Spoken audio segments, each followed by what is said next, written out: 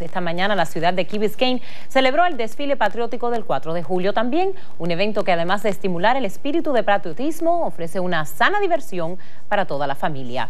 Nuestra colega Clarinés Moncada tiene el reportaje.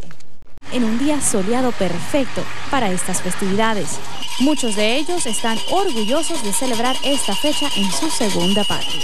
Realmente es una gran alegría para nosotros los hispanos estar en un país que puede celebrar el 4 de julio, su Día de la Independencia, con toda la seguridad que le ofrece el gobierno americano, con todas las garantías que lamentablemente nuestro gobierno no le ha ofrecido y le ha fallado al pueblo colombiano. Así que me siento muy feliz de estar en este país celebrando un día tan importante como la fiesta de la independencia. Nos vienen a recoger unos amigos ahí en el bote y todo, así que la, va a pasar de lo más bien.